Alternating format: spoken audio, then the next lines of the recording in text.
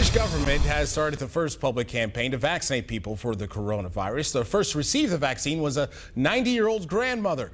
But first, maybe much ado about nothing when next came, very poetically might we add, William Shakespeare of Warwickshire. Yeah, his name is actually William Shakespeare. The 81-year-old got his shot at University Hospital in Coventry, which is just actually about 20 miles away from Stratford upon Avon, where the more famous Shakespeare was born.